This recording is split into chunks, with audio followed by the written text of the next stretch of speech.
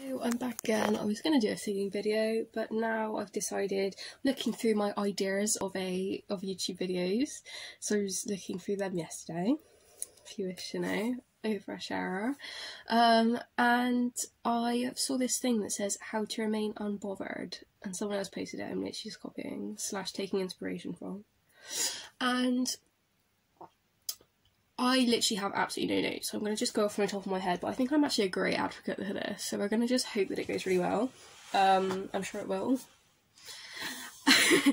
um, so yeah, how to make my boyfriend. I feel like the most important thing for this is to realise the difference between you and someone else and make separation between someone else's projections and thoughts and behaviours for themselves and your own insecurities and your own thoughts because everyone's um, your own insecurities your own thoughts and your own goals are completely different from someone else and they and obviously prioritizing yourself over other people for a start and especially over other people's projections like that's just like you're not doing anyone any favors by internalizing someone else's projections it's actually impossible not to do at times and not everyone's done it i'm sure every single person in the world.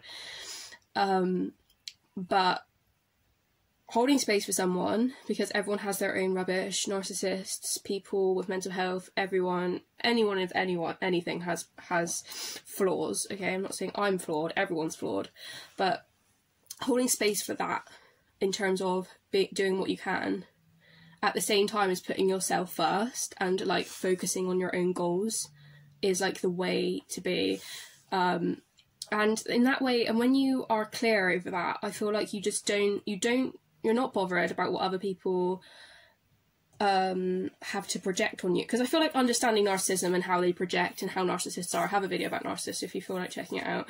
But understanding that people are going to put their own crap on you, which is honestly nothing to do with you. Like most of the time, like I have had a situation in the past where I came into contact with a sociopath.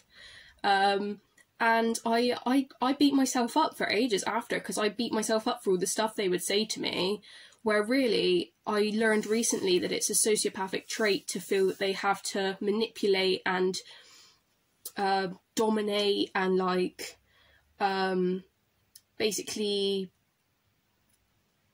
yeah, basically manipulate someone if they feel they can. Like it's like a sociopath thing. So there I am beating myself up because I feel like I've like I'm the problem, where really uh, it was it was the sociopath's problem and I wasn't the problem in the first place. It doesn't matter because I've learned a lot about myself through that experience. Uh, well, it doesn't matter, but I mean, I've I've obviously got some things out of that experience. Um, looking at the silver lining, but you know, it's just things like that. Like you can't internalize someone else's beliefs about you, and you can't internalize their beliefs about themselves either. Because sometimes people will try and force their own beliefs upon you. Like if they're like, "Oh, you have to have like a really good job." Unfortunately, even I feel like this is just a thing that loads of people do. But I feel like like parents, like if they like, have you ever heard of that mum that like tries to live her life through her child? Like a mum can be like you know, if she hasn't had like a dancing career and she's always wanted a dancing career, there's that show called Dance Moms, and like the mums like literally live their some of them it's like they're living their lives through their children and they like try and work their children really hard to get this career that they could never have themselves for their children. Do you know what I mean? They should be allowed to be children, in my opinion. Obviously everyone's got a different way. And then I don't want to project my shit onto the dance moms because the children probably are just thriving being dancers. Do you know what I mean? So anyway, I'm getting off off topic here. It's really just that's just more of a gossip mentality, isn't it? Um, but oh my gosh, I've literally just tangented already. So, um, yeah, how to remain unbothered. Um, so, I also think having a um, resilient slash life has ups and downs slash it's not going to stay bad forever the good time, everything that's good will come to an end kind of mentality. And that sounds really depressing saying everything that's good must come to an end. But at the end of the day, I like to go from the mindset that God made us as a person alone. We were not with anyone else when we were in the womb.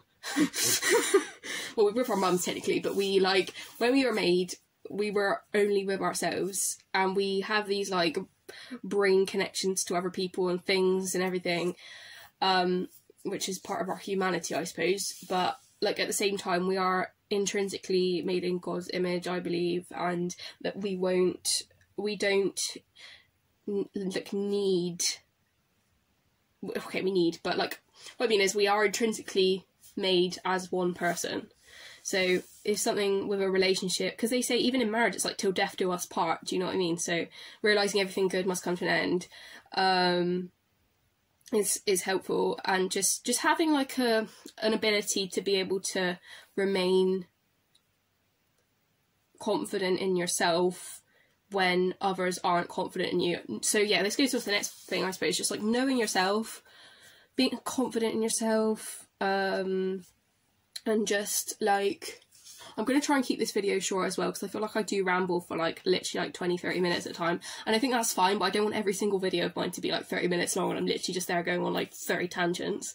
Like, I don't mind it. Like, I actually don't mind it at all, but I think having it, having like a mix is best. um, so yeah, like, I suppose, yeah, just knowing yourself, um, a good support network, oh, self love, obviously, when it comes to like knowing yourself, like self love, all that stuff. I'm not going to go into that because I feel like that's really like well well understood in society these days. Um, a lot about self love and self validation and all that stuff on the internet, etc. Um, so yeah, having good support network and good people around you, and just people that, and I feel like as well, like this is like slightly separate, but I've noticed recently that I spoke about love languages in my last video, and realizing that everyone doesn't like love the same is really helpful, and not not like p- having people around you that might not necessarily be exactly like you is like is actually really healthy. Because I feel like a lot of people like look for people like themselves so they look for similarities but at the same time if you come across someone that shows love languages in a different way and maybe they just they aren't I feel like I've heard this thing as well before where people don't like each other because one person displays um something, a trait that this other person hasn't come to grips with in themselves, or this person doesn't like something about themselves, so they hate this other person because they've got that they embellish that that character trait that this person doesn't want in themselves, so they project their dislike towards themselves on this person.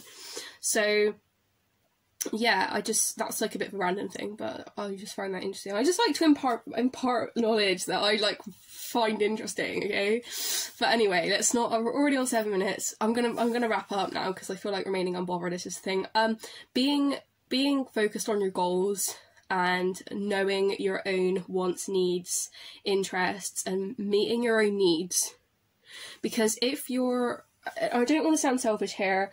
Um, I don't want to say you have to be like a lone wolf and you have to be like independent or like you have to be away from friends and family or like you can't be part of a society or a community or anything. I'm not saying that at all, but I'm saying being able to meet your own needs, um, be in terms of a job, um, like having whatever job you want in terms of like if you need like a stable income, getting that for yourself and not expecting it to arrive on your doorstep, or you know just anything simple like you know understanding when you feel a certain emotion and what that means to you and how to handle it and stuff um, can just help you remain unbothered by other people. Um, and also, it's remaining, remaining unbothered is not just about other people, it can be about yourself and about the stuff that you do. And like sometimes, because people have really negative behavior sometimes in themselves, and sometimes it's about controlling your own emotions and your own feelings so that you don't get bothered by a situation that might not even be to do with people. And just not allow yourself to go into like a negative behavior kind of moment. And yeah, I mean, it's just a few things. I'm literally not going to go on now. I'm literally going to end it right there, and I'm not going to be like, oh, okay, well, I'm just going to chat for like five minutes. Subscribe if you want. Don't if you don't. Be happy it's a short video. It's a video. That's good for me. I mean, I'm happy it's a short video. I don't know. I also feel like I'm getting a bit like instructive on these videos. I don't want it to be like that. I want it to be like a general discussion. I mean, of one, but you can think your own thoughts. So really, it's a it's a it's a group discussion in some ways. Okay, I'm gonna go. Bye!